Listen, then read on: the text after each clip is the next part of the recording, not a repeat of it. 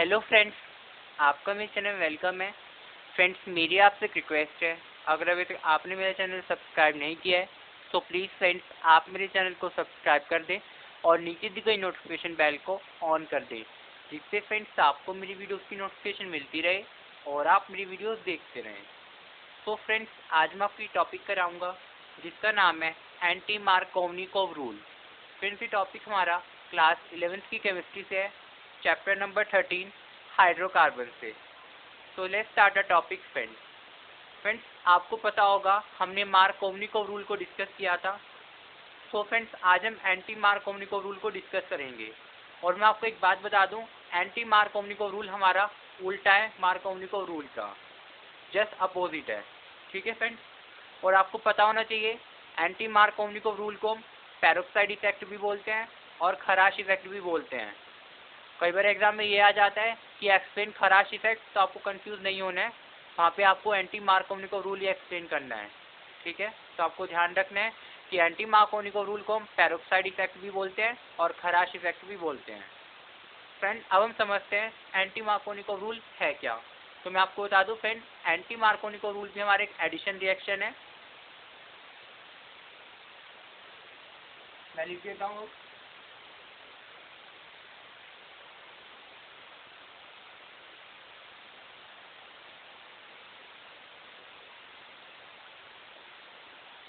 ठीक है friend anti Markovnikov rule हमारा एडिशन रिएक्शन है।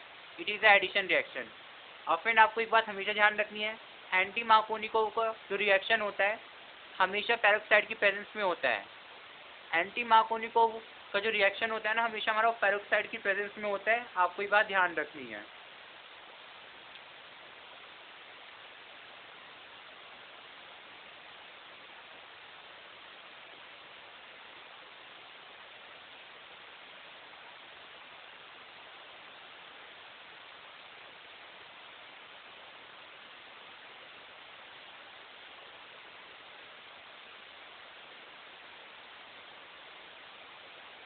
ठीक है फ्रेंड जो मैंने आपको समझाया, उसे मैंने वर्ड्स में लिख दिया है।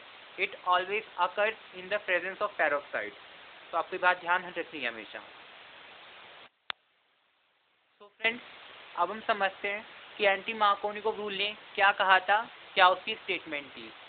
तो मैं आपको बता दूँ फ्रेंड एंटी मार्कोनिको रूल ने ये कहा था कि अगर हम अनसीमेट्रिकल एल्कीन को एचबीआर के साथ रिएक्ट कराएँगे पैरोक्साइड की प्रेजेंस में तो जो हमारा पॉजिटिव पार्ट होगा, वो हमारा उस डबल बॉन्डेड कार्बन पे जाएगा, जिसके पास सबसे कम हाइड्रोजन है, और नेगेटिव पार्ट उस कार्बन पे जाएगा, जिसके पास सबसे ज़्यादा हाइड्रोजन है। एक बार मैं दोबारा रिपीट करता हूँ। एंटी मार्कोनिको रूल ने ये कहा था कि अगर हम अनसीमेट्रिकल एल्कीन को एचबीआर के साथ रिएक्ट कराते हैं पैरोक्साइड की प्रेजेंस में तो जो पॉजिटिव पार्ट होता है हमारा, वो उस कार्बन पे जाएगा, जिसके पास सबसे कम हाइड्रोजन है, और नेगेटिव पार्ट उस कार्बन पे जाएगा, जिसके पास सबसे ज़्यादा हार्डवेयर में ठीक है? अब मैं इसे लिखता हूँ आपको क्लियर हो जाएगा।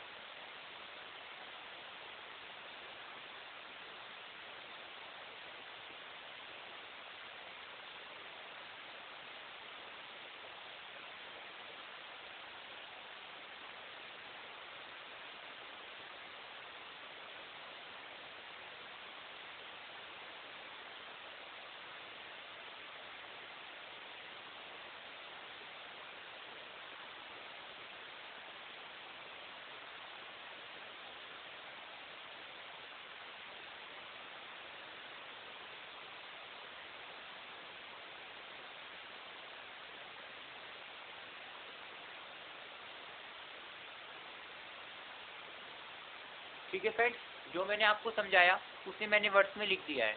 It state that unsymmetrical alkene react with H B R in the presence of peroxide then positive part goes to that double bonded carbon which have less number of hydrogen and negative part goes to that double bonded carbon which have maximum number of hydrogen okay friends तो ये हमारा anti Markovnikov rule का कहना था।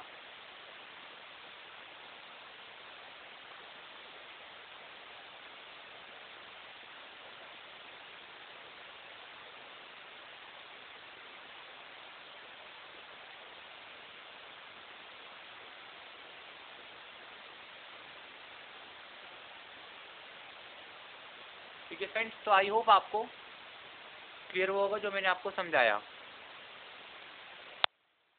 अब friends हम इस anti Markovnikov rule को एग्ज़ाम्पल के समझेंगे। फ्रेंड्स ये तो आप सब जानते हो कि अनसिमेट्रिकल एल्किन क्या होता है।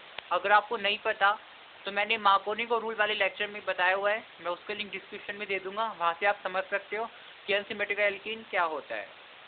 तो फ्रेंड अनसिमेट्रिकल एल्किन वो होता है जिसमें दोनों कार्बन पे हाइड्रोजन जो होते हैं वो डिफरेंट होते हैं। मतलब नंबर ऑफ़ हाइड्रोजन हमारे दोनों कार्बन पे डिफरेंट होते हैं। ठीक है? तो हम इसे एग्ज़ाम्पल से समझते हैं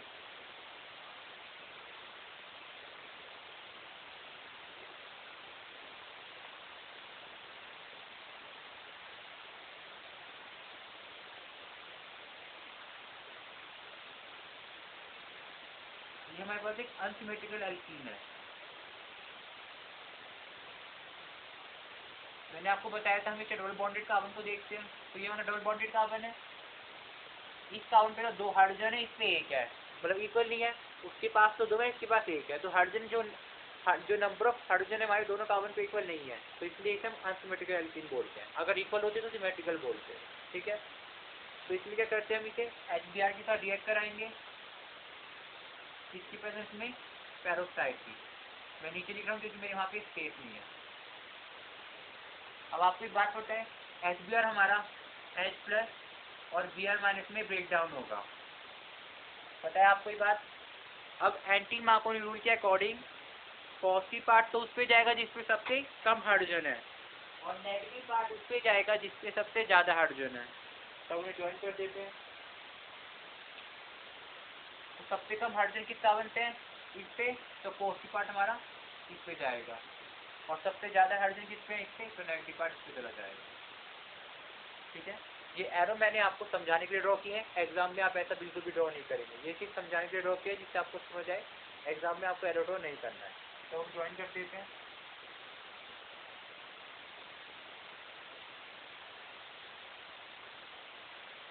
जब रिएक्शन होगा तो डबल बॉन्ड क्या हो जाएगा? सिंगल बॉन्ड हो जाएगा।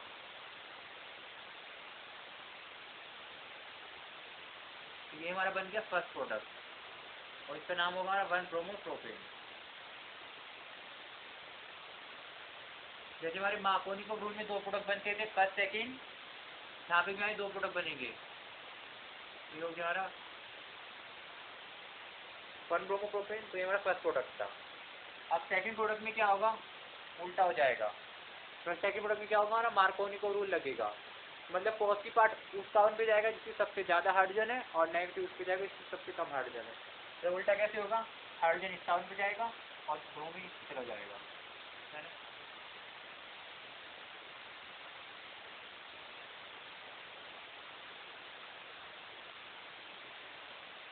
तो ये हमारा बन के सेकेंड प्रोडक्ट इसका नाम क्या होगा? टू ब्रोमोकोपेन नाम ऑफ़ एग्ज़ाम में ज़रूर लिखना है, अगर आपने एग्ज़ाम में इसका नाम नहीं लिखा, आपका मार्क्स कट जाएगा।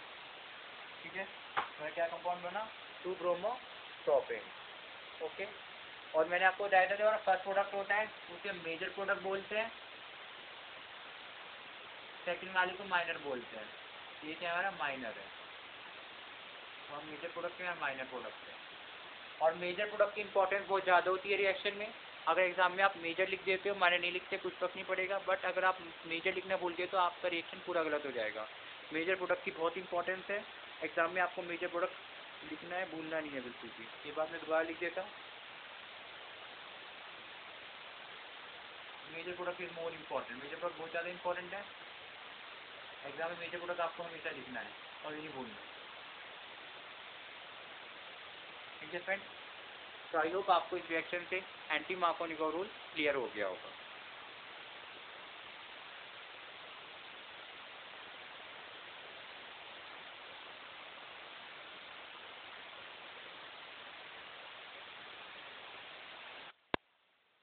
अब आपको एक बात पता है, हमने दोनों रूल डिस्कस कर लिए हैं मार्कोनी को भी एंड एंटी मार्कोनी को भी। तो अब मैं आपको कुछ बात बताऊँगा, वो बात आपको हमेशा ध्यान रखनी है। तो बात ये है कि हमारा जो मार्कोनी को रूल है, वो हमारा कार्बोकेटाइन की स्टेबिलिटी पे बेस्ड होता है। मार्कोनी को रूल हमारा कार्बोकेटाइन की स्टेबिलिटी पे बेस्ड होता है।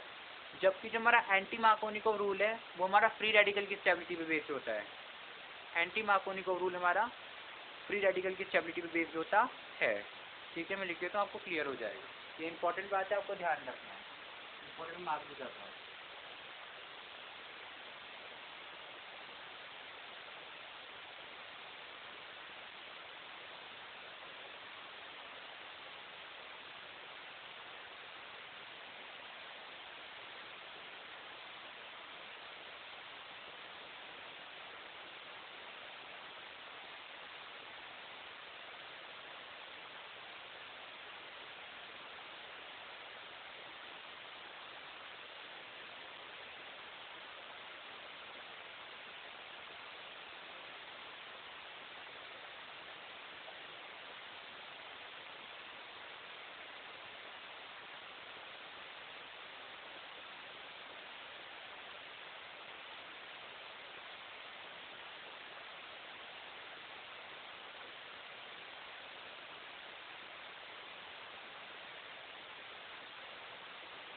ठीक है फ्रेंड जो मैंने आपको समझाया, उसे मैंने वर्ड्स में लिख दिया है। Markovnikov rule is based on the stability of carbocation where anti Markovnikov rule is based on the stability of free radical ठीक है? तो इससे हमें ये पता चलता है कि हमारा जो मार्कोनिकोव रूल है उसमें हमारा आयनिक रिएक्शन होता है और एंटी मार्कोनिकोव रूल में हमारा फ्री रेडिकल रिएक्शन होता है। आगे रिपीट करता हूँ। अब हमने स्टेबिलिटी का कंसेप्ट डिस्कस कर लिया। तो इस स्टेबिलिटी के कंसेप्ट से हमें ये समझ आया कि हमारा जो मार्कोनिकोव रूल है, उसमें हमारा आयनिक रिएक्शन होता है और एंटी मार्कोनिकोव रूल में हमारा फ्री रेडिकल रिएक्शन होता है। ठीक है? चलिए तो आपको क्लियर हो जाएगा।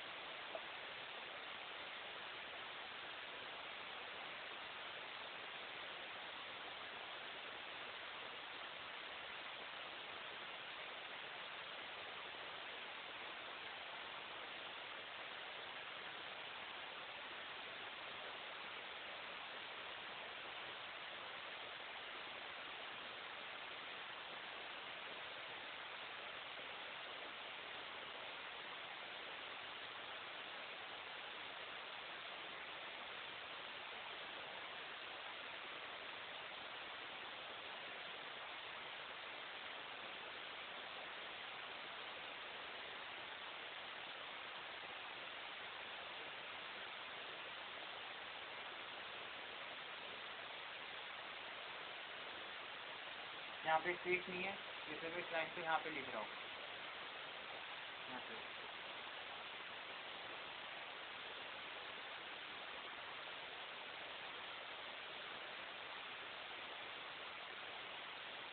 ठीक है ना?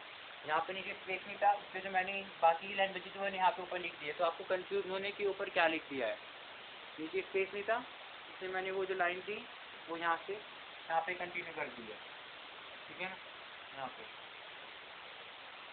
तो फ्रेंड जो मैंने आपको समझाया था, उसे मैंने वर्ड्स में लिख दिया है। Thus we can say that Markovnikov rule take place in ionic reaction where anti Markovnikov rule take place in free radical reaction okay friend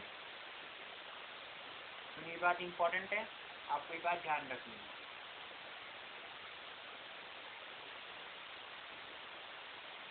तो फिर यही हमारा पूरा कंसेप्ट था मार्कोनिक ऑफ़ रूल का। जिसे हम पैरोक्साइड इफ़ेक्ट भी बोलते हैं और खाराश इफ़ेक्ट भी बोलते हैं। ठीक है फ्रेंड तो आई होप आपको ही क्लियर हुआ होगा।